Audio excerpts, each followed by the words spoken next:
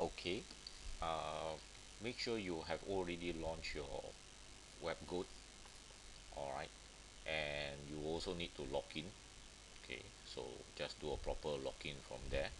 We are now actually at the request forgery and inside request forgery you only have one section which is the C_S_R_F which stands for cross site request forgery. In the front you actually have this two read up. So I'll leave you to do the read up on your own. Alright now we will look into the section three. Alright to get the basic uh C_S_R_F exercise itself. Okay you will see that there is a confirm flag text box over here which we are supposed to uh alright. And there is a button up here which is actually a submit query.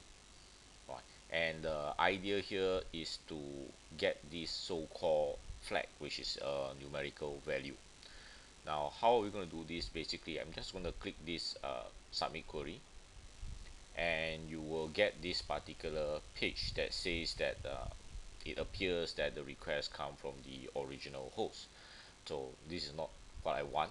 But what I do want is what is on top alright which is the U_R_L itself. Let me just uh copy this. I will click back alright and just to show everyone what I've managed to extract is I've extract this whole long list of uh U_R_L okay. So the idea here basically is that U_R_L itself can actually be used to do C_S_R_F so I open another tab and I'm gonna paste this uh U_R_L inside. Okay.